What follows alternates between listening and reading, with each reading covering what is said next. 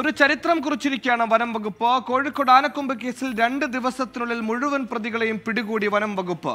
മുഖ്യപ്രതികളായ ഹരിദാസൻ ഷാജി എന്നിവരാണ് ഏറ്റവും ഒടുവിൽ പിടികൂടിയത്. കേസിൽ ആകെയുള്ളത് പത്ത് പ്രതികളാണ്.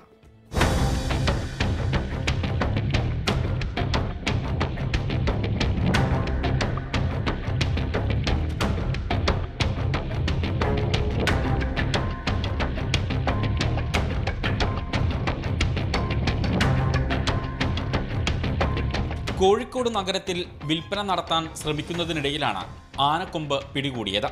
നിലമ്പൂർ കാട്ടിൽ ചെരിഞ്ഞ കാട്ടാനയുടെ കൊമ്പാണ് വിൽക്കാൻ ശ്രമിച്ചതെന്നാണ് പ്രാഥമിക നിഗമനം. ആദ്യഘട്ടത്തിൽ കേസിൽ എട്ട് പേരാണ് പിടിയിലായത്.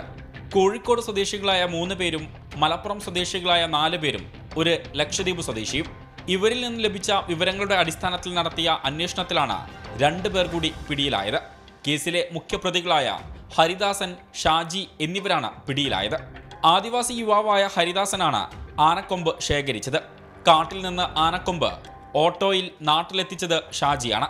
പ്രതികളെ കോടതിയിൽ ഹാജരാക്കി റിമാൻഡ് ചെയ്തു.